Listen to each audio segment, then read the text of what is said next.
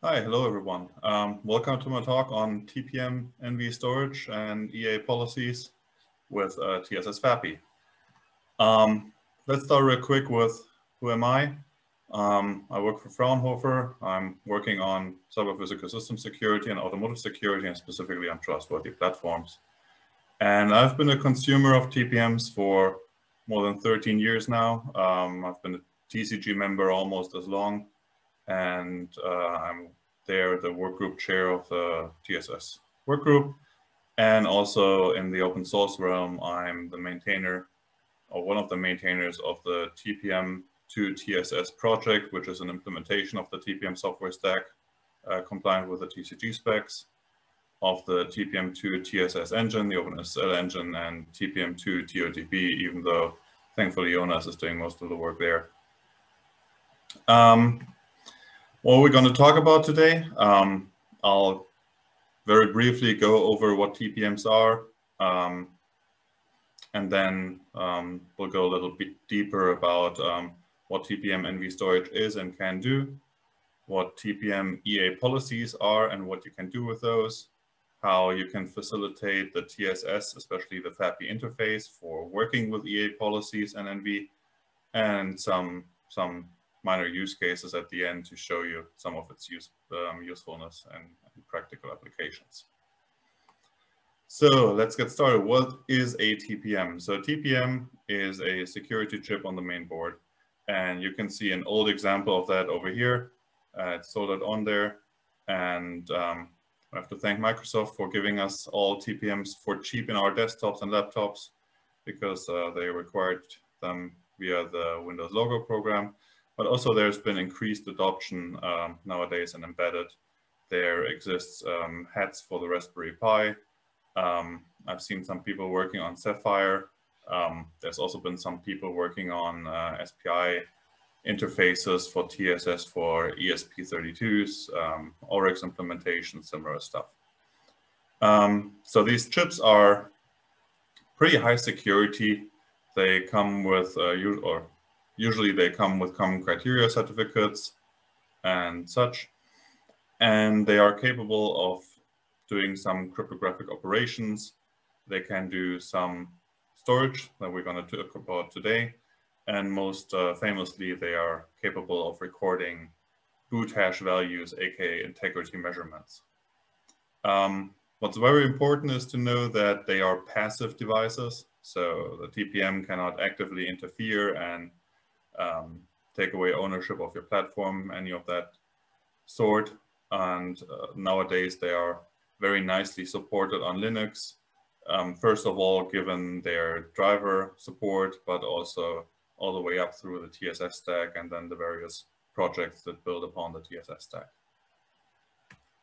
So what's it known for? It's specifically known for what we see here on the left-hand side, which is it can do crypto, it has an RSA engine, ECC engine, um, SHA-1, SHA-256 engines, and it can do some AES, even though the AES functions are not exposed externally, but they are used internally for um, storing its keys. So keys are, in the case of the TPM, usually stored outside of the chip, but encrypted via an AES key that is only known to the TPM. Second most uh, well-known functionality is, as I mentioned, the integrity functionalities of the TPM. So the TPM will record the boot measurements or the, the measurements or the hash values of the various components that are um, used during boot of the platform and store those in these PCRs, and then you can do a quote command. But that's not what we're going to talk about today. Today, our focus is on the right-hand side. Um, the First of all, the NV capabilities of the TPM. So it can persistently store keys, but it also exposes general purpose NV indices. And we'll be looking at the uh, enhanced authorization policies, or as I will usually refer to them, EA policies, um, as you heard in the beginning of the talk already. All right, let's jump right in there. Storage. So TPM comes with a bunch of storage, um, or not, not so big of a bunch of storage, but with some storage. and it's often used um, synonymously with the NV indices, but we have to differentiate. So TPM has an internal flash, and that flash is used to store um, internal TPM data structures such, as its um, seeds, auth values, boot counters, um, and other kinds of things. But also the TPM exposes an interface to the user to use some of those, uh, some of that storage. Um, and that's called or referred to as NV indices or NV index handles.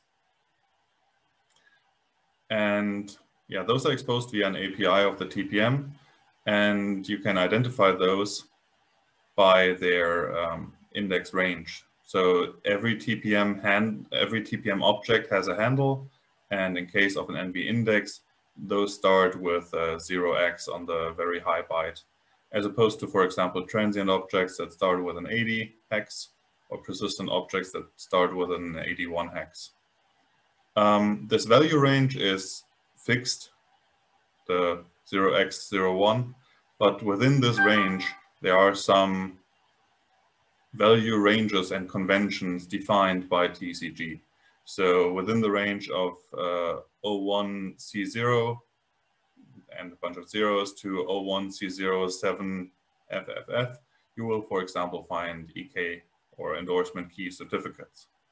The range that we're most interested in for our application is the range from 0x0180 to 0x01BF and FFFF.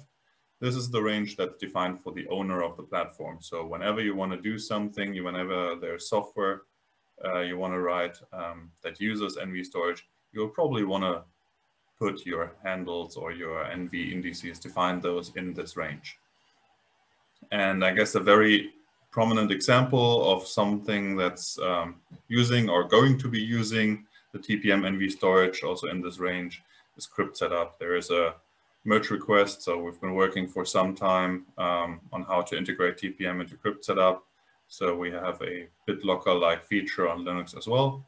And um, the new crypt setup TPM tokens as they are defined in the mentioned pull request um, actually make use of this NV storage. So in order to look at what your NV storage is, there's two ways. You can use um, TPM2 get capabilities or get cap and just see the NV index ranges. And here you can already see that there are um, specifically two user indexes that I defined, which are in the 8000 and 80001. Then there's two certificates in the 01CO range. And then there's another three. Those come from um, platform. Those are used for um, BIOS PC BIOS things. so just that you don't wonder when you have a fresh TPM, you will usually find the five bottom NV indexes on your platform already. Another way to look at those is via the TSS2 get info call. And I'll go a little bit into what the differences between those two calls is uh, later. But there you can see, unfortunately, we don't have the hex representation because JSON, um, but we do have the integer values there as well.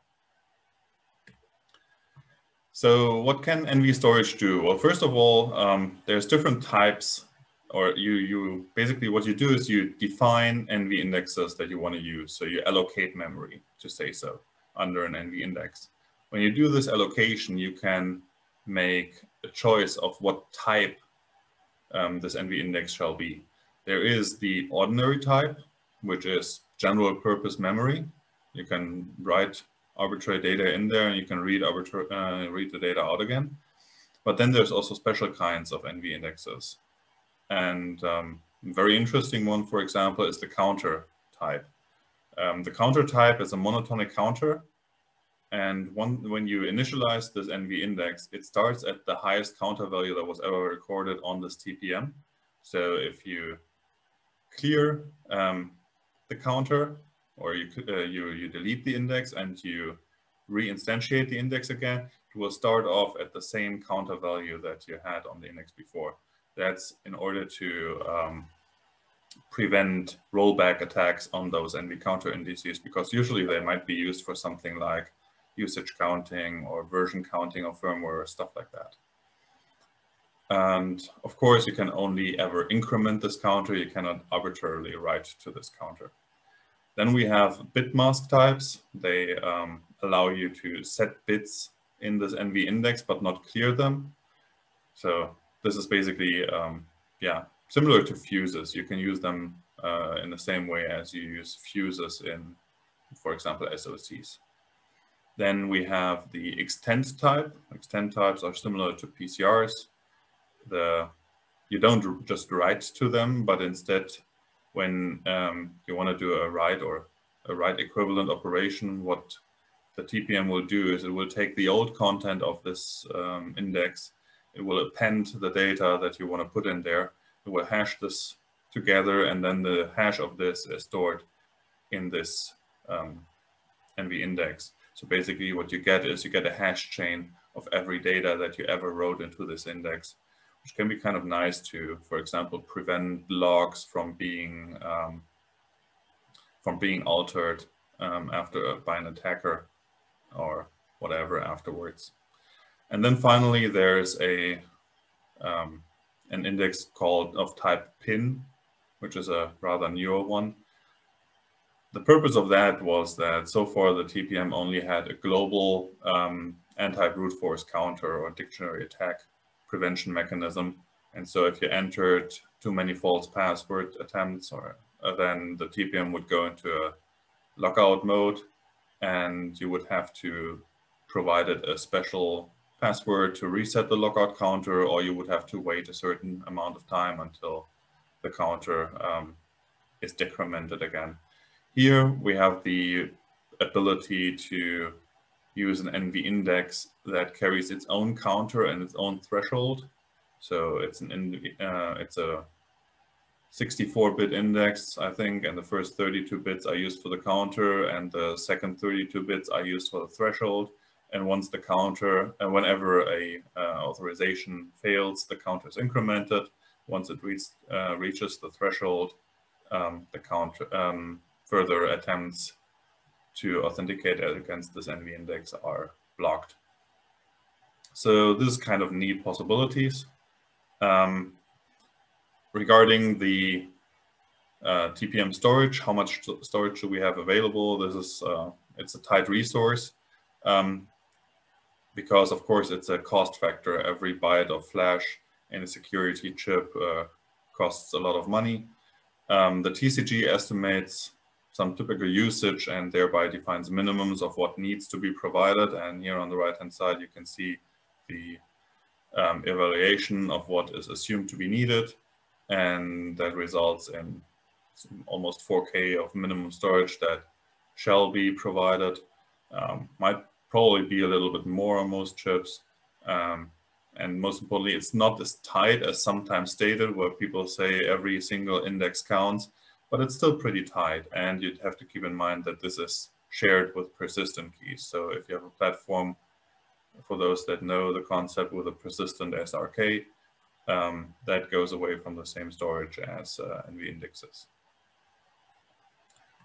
Um, in order to create an NV index, so this is a very basic example where we're using some command line tools and you see the, the output at the bottom.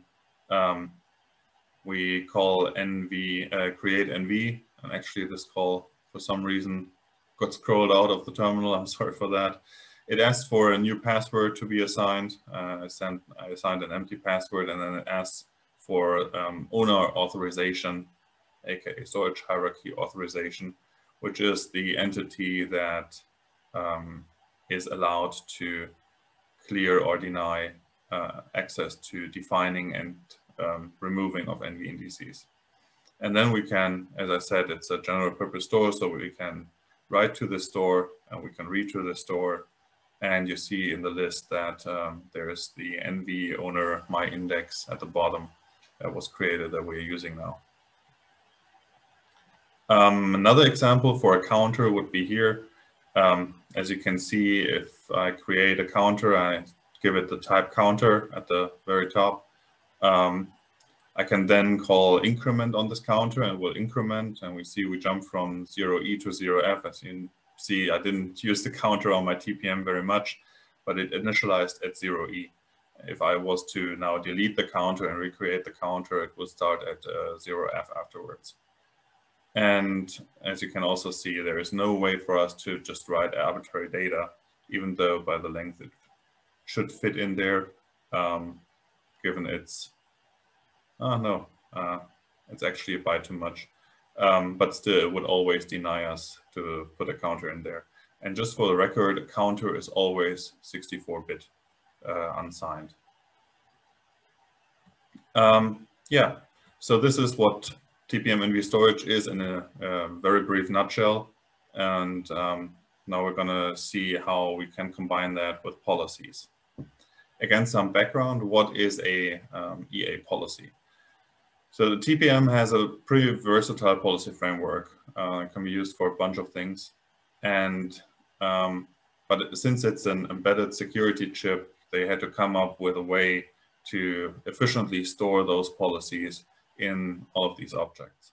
So what they did was um, they said, okay, a policy statement, a policy expression is going to be a combination, um, as a combination of policy elements will be encoded as a um, hash chain. So basically each policy element and on the top right here, we see we have the policy elements A, B, C. Each of those elements can be represented as a hash value. And when you want to end combine those elements, what you do is you build a hash chain that starts with a bunch of zeros. And then you hash, basically you extend, um, hash extend each of the policy elements into the digests and you end up with a single digest in the end that uh, cryptographically at least uh, correlates to the policy that was defined. And then whenever you define something in the TPM, um, the TPM will only store this digest value. Um, be that a, T, um, a, key object or be that an NV index or be that the authorization for a hierarchy or whatever. In order to um, make this now more versatile, you want to have an OR element in there as well.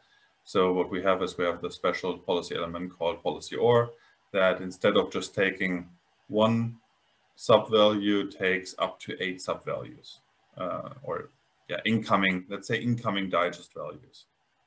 And so by that you can start combining a bunch of subtrees as they're often referred to into a single um, policy digest tree. If you want to have more than just eight, um, the convention, uh, you can, of course, chain a bunch of ORs together. And the convention is that you would do so only on the top level and you would make them um, flat so that you will have the topmost OR and then you would only have ORs on the next layer and then you would start with the actual policies. And that should be enough for um, up to 64 different policy branches underneath. If you want to go beyond that, again, you make uh, the first three um, layers of the tree only ORs, and then you go on. Um, and as I mentioned, the TPM only tracks the topmost hash. So what you need to do is you need to store the actual policies that you want to evaluate outside of the TPM. And then you call the TPM and for basically for each policy element, or sorry, you start off by opening a policy session and the TPM then has an internal uh, hash value of zero that it keeps track of. And then you call a bunch of policy commands on this policy session. And each time this, this policy evaluates true, the TPM will go ahead and uh, update the hash value according to the um, to this schematics. And so for each policy element, you call the policy commands. And in the end, um, you use this policy session where the final uh, hash value is uh, stored inside the TPM and you call the operation on the key that you or the NV object that you want to use. And the TPM does the comparison to see if the policy was fulfilled by the um, proofs of the policy that you gave before via the commands. Um, the amount of policy elements that you have is pretty large as you see here. Um, I guess the most important ones or the most interesting ones that you want to look at are of course the policy OR, um, the policy signed, where you can have a challenge response scheme, policy secret, where you can defer to another um, object. So if you want to have authorization for object A, you can defer this to um, authorization to object B. And if that's fulfilled, um, the, the first one is fulfilled. Policy ORA I already mentioned. Policy PCR is the interesting one when it comes to um, boot value or um, yeah, boot integrity. Counter timer can be interesting and uh, command code is definitely interesting. So each of the OR branches, for example, you can restrict to a certain command code. So you can have a different policy for writing an index versus reading an index, or you can have a different policy for using a key versus exporting a key. Um, when it comes to exporting, there's also duplication select. I won't get into too much detail here. Policy password is of course interesting, where basically you say, okay, I want to have the user enter the password that is associated with this object as well. And then um, policy NV, which we're going to be looking at uh, a little more later. Um, most of these policy elements are then also parameterized. So that makes the total set of combinations even, even larger. For example, the policy NV, um, it compares the content of an NV to an operand. Um, that's also provided as part of the policy. And then you have a lot of operations. So you have equal or not equal, pretty obvious. But then you also have um, signed and unsigned numeric comparisons, which is kind of nice. And you also have um, corresponding to the um, bit mask type of, um, of or the fuses-like behavior of NV indices that I talked about earlier. You here have the equivalent in the policy where you can say only if a certain bit is still clear um, in a certain NV index, this policy is allowed to evaluate to true or vice versa, only if a certain bit has been set, certain feature activated, whatnot, this policy is allowed to evaluate to true. Um, also interesting in there, you can um, make these comparisons also against just subparts of the NV index, um, since there is an offset parameter as well. And then there's also um, the size of the operand. So you can say, I only want to compare to a certain, uh, to certain sub bytes of the NV index. And in practice, it would look something like this um, if you were to directly call the TPM via these policies. And um, so this code was taken from the crypt setup TPM things. And here you can already see that, as I said, you start off with a policy session, and then you call a bunch of policy commands, in this case, policy PCR, policy password, policy command code, in this order on the policy session and you can, and then you, the TPM internally updates the digest counter in this, um, in the session that was started here. And in the end, you then go ahead and either return the session or you get the, the digest. However, this is kind of um, unnice or kind of complicated to program because for something like a policy PCR, you need to read out the, um, the PCR values beforehand um, in order to make sense out of them. So there's another routine that you have to do and you have to hash them together and then put them in there. So it becomes kind of kind of ugly potentially. And so we thought about how you could make this nicer to work with. And yeah, the, the API that was used here is part of the uh, TSS. It's the ESYS API. And this ESYS API gives you the low-level access to all functionalities of the TPM um, as I mentioned. So it's the go-to if you are in a um, either in an environment where you don't have too many capabilities or if you want to do some very borderline um, use cases that you want to implement. And um, you have to manually keep track of the policy, as I mentioned, and then you have to execute this policy. So it's only very only too interesting if you always have the same policy. And for, for usage, you can use the TPM2 tools and those map more or less directly to the um, to this ESYS API. Um, with some, some convenience functionality put on top of it though. And but then there is um, also a rather new library that was released uh, beginning of this year that we call the FAPI or Feature API. I know we're bad with names, but uh, we have to stick with them once they're out there. So this is a more convenient interface to talk to the TPM because it automates a lot of stuff. Um, first of all, most importantly for this talk, it, what it does is it um, comes with a language that gives us the capability to express policies as JSON in a declarative way. Um, then it also automates away the whole um, satisfaction of policies using the policy sessions. And this is done completely under the covers.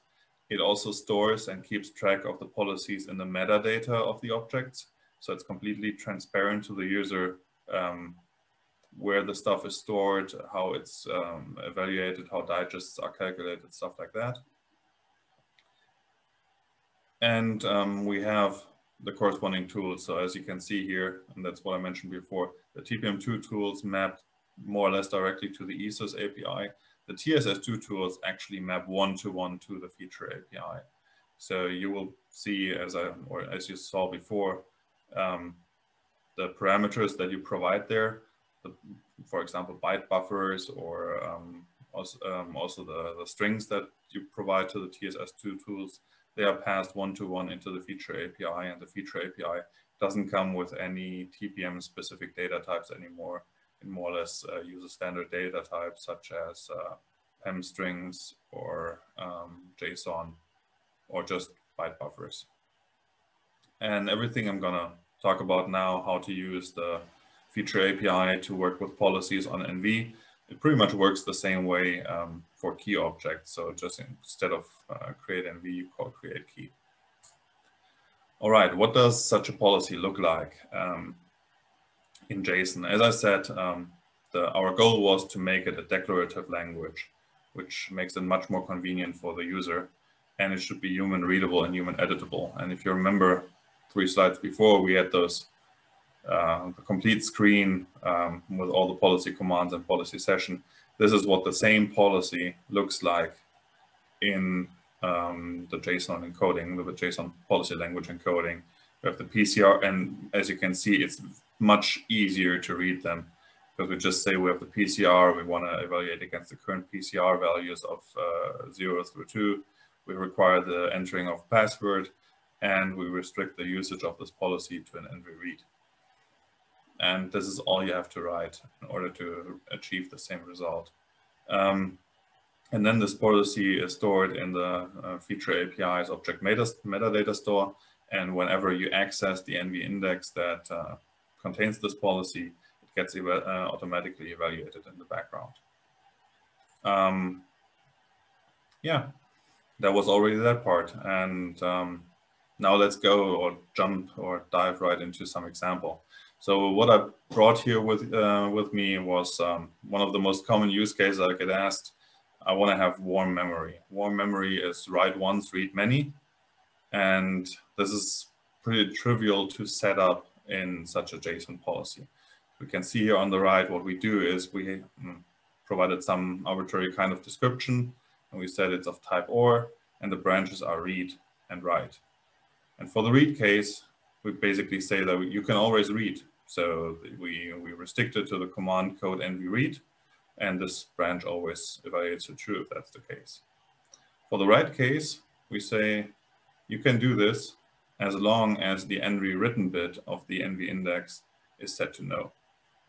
And so what this does is um, the TPM will check that this is the case. And once it's written, um, once the, or as soon as uh, the NV index content was written once, this bit is set to true and never reset again. Um, those are the commands if you want to um, test this out on your own machine. Just uh, be aware you have to call a TSS2 provision in the very beginning. And I would highly recommend that you go to uh, TSS uh, 301 um, or master uh, for that matter. because um, we, we changed some of the handling of the policies going from 2.4 to 3.1. Um, when you call that, this is basically what happens. Again, you're asked for a password for this index. I'm setting that to zero because we're not using the password anywhere here in the policy. So if you used um, a um, password element anywhere in here, uh, that makes may, would make sense. In this case, we don't. Um, I'm asked for the owner authorization again. And then I want to write the hello LSS string to this uh, index again. And what FAPI, aka the um, what FAPI will do is FAPI will call a callback, which is called a branch selection callback, something like that. Um, and the, what the tools do is they register the C callback and um, so the FAPI will then provide the different branch names. You do your choice, choose two in this case, and it all succeeds. And once we then read, again, we are asked which policy or which branch we want to evaluate to. We take the read branch and uh, we get back the result. And as we can see, as I said, it's a WORM white write once memory. If we call the write again, um, we will be failing here and we can see that the NV write finish failed because the policy check failed. Because in this case, the, um, the NV written bit was actually true and not false. And so the digest value of the policy session and the digest value stored for the NV index don't match anymore. Um, the next example I brought with me was um, some, some equal comparison. This is, I think, when it comes to NV indices, the probably the most commonly used one besides maybe the, the, the bit set testing. So in this case, what we're going to do is we're going to look at the NV index and we're going to check um, what the correct value is. And in this case, um, if you want to translate this over to um, the string representation, so this is the hex representation basically of the of the hello world, uh, the, the word hello. And um, so only if my index still contains the word hello, we're going to evaluate to true. And as we can see here, um, again, I created this NV index and uh, I can write to the newly created index and it would just work seamlessly. But once I write something else like by into the original my index, uh, writing to my new index will be failing because again, the policy, um, the policy NV execution failed and thereby I cannot progress my um, policy session any further or FAPI cannot do so. So this makes the usage of policy is just way more convenient and I can tell you from personal experience that it's pretty much not too much fun uh, to write up the ESYS calls and it's way easier to write these JSON files. Of course, um, JSON is not the, um, or writing JSON in a regular editor is not the most, still not the most convenient thing. So something that we just started, and by me, I mean Peter Huewe came up with the idea and Jürgen Repp and myself um, are now participating in that as well as we're coming up or writing a JSON schema for this policy language. Um, it's still work in progress at the time that I'm recording here. Hopefully by the time um, that this is aired, we will have it ready on, on the TPM2 GitHub IO soft, um, website. Um, and here you can already get a sneak peek at the whole thing. And the idea is that you can click together your policy. And just for fun of it, um, I brought you an example here you can see this is the example from earlier and I actually used this editor in order to write that. And we can see that we can update it here to equal or not equal. And we can very easily add another item. For example, if we want to have password authorization and we can add another item. If we want to have uh, the NV written bit set to um, set to true, and then it's gonna only gonna evaluate that way.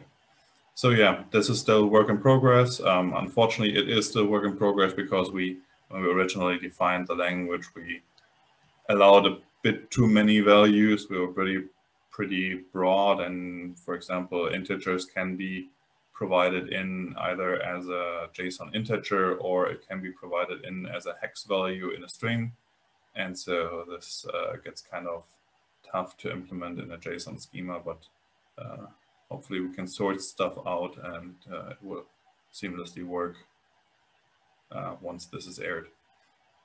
All right, so what did we see? What did we talk about? As I said, um, the TPM has pretty nice capabilities for um, user storage. It also has very nice policy capabilities. And especially on this later part, I think there's a lot of things that still can be, um, yeah, can be discovered in the future. Um, I remember that I, in the past, did some some interesting firmware update schemes where you can have the firmware version counter be part of the NV and you only provide access to your storage partitions or data partitions if the firmware is actually the latest firmware. Um, so you prevent rollbacks, something that uh, we know is a hard thing to do if you don't have something like a TPM capable device with a counter. Um, yeah, um, and I think, or I hope that um, FAPI will be the enabling factor for really getting people, getting maybe you in the audience to um, explore and elaborate on the capabilities using EA policies. And hopefully the uh, GUI editor will be even more interesting um, or make this even more interesting and more easy to use.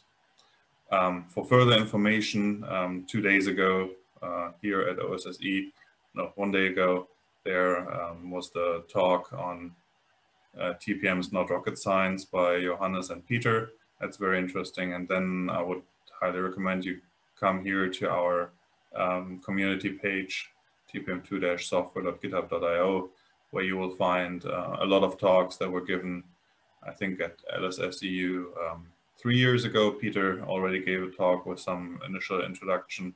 You find a lot of um, tutorials. You find a Gitter chat that's becoming more and more active, um, where people help each other out, stuff like that. And hopefully also the GUI editor is going to be there uh, in the near future. All right. So thank you very much for your interest and staying to the end. And uh, I hope the examples are interesting and I uh, highly recommend you test them out. And yeah, see you in chat.